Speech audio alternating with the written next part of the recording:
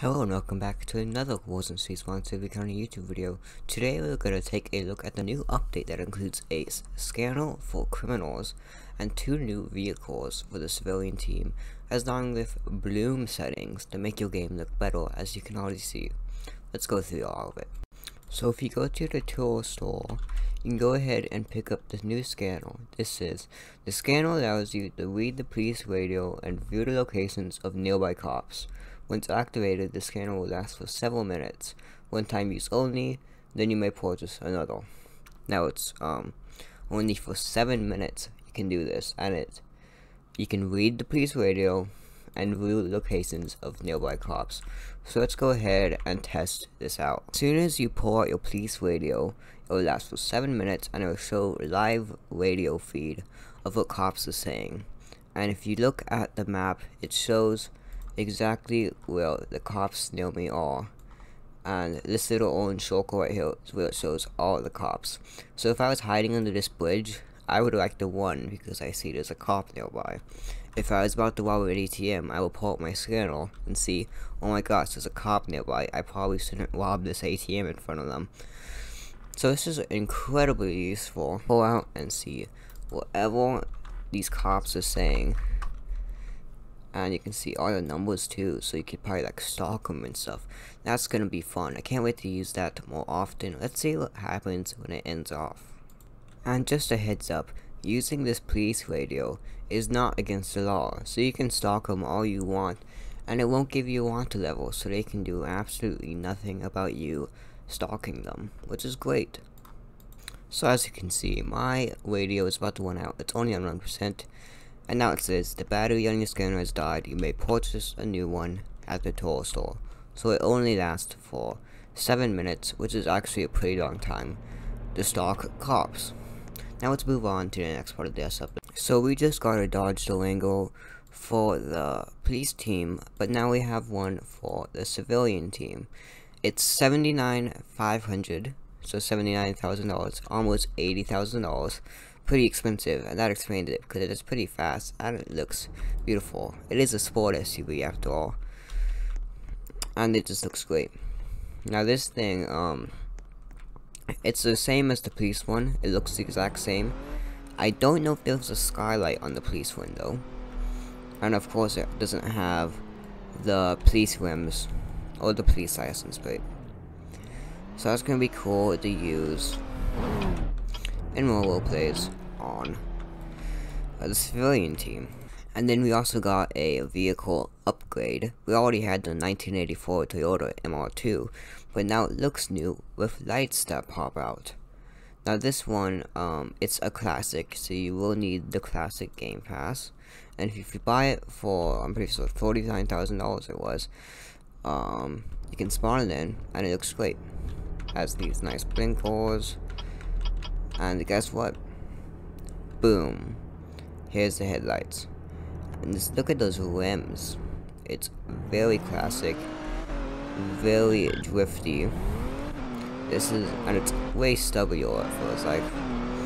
I can't wait to get into some chases with this thing. With its nice spoiler and back window. And that's it for all the new vehicles in this update. Let's go on to the bloom effect. Now you've been looking at this video and you've been wondering, why does it look like you have shaders on? And I'm gonna tell you what, it's not shaders, it's a new setting in your game settings. So, if you click your little local settings icon, go to the bottom, you can choose um, what the bloom effect is. It's a glare effect, sometimes you see when you're looking at bright objects can tone this down for less effect, tone it up for intense to intensify the effect. Default is the median setting. We recommend only changing this if you know what bloom is. So I have my bloom at max and the game just looks two times better. And if you go ahead and look, it also says updated game lighting, so that also adds to it. Let's move on to the Gale buying with Robux on law enforcement teams. Okay, so now I'm on an account that has nothing, 0 XP, it doesn't have any of the tools. So the riot shield is for cadets, anyone can use it. the taser. You can either be an officer or you can buy it for 30 Robux. Stop stick. You can buy it uh, for, you can either be corporal get it for 35 Robux. Um, and everything else is for game passes. And this isn't the only team where these items change. If you go to, oh, almost forgot. Guns. You can buy all these with Robux. You can get the uh, Captain gun for 53 Robux. The M4A1 for 40 Robux. The Glock for 35. The Shotgun for 30. The SWAT is the SWAT Game Pass. And the Cadet is completely free. And this is also um it's it says folk emergency teams but there's no items that uh, require any unlockings on any of the other teams. So that's gonna be fun um, for people that don't want to grind XP because for example if you're in a private server and XP doesn't save you can just buy it all with for pretty cheap with Robux like only 30 Robux it's pretty cheap so roleplay is gonna get better now there is a lot of bug fixes and improvements, so we're going to go each through each of them very fast. Now these two colors right here, both used to be called black metallic, but that's not black, that's blue, so it's been renamed the midnight blue. Now it's pretty hard to see, but now there's a beam, just like on your headlights. It's pretty hard to see, but there's a beam that comes out of the light. There was already lights, but now there's a beam that follows it for all guns on the police team because they're the only ones with flashlights. See, now it's easier to see. Now the timer looks different. For when you die, it says the timer's in the middle and there's no button to say right away.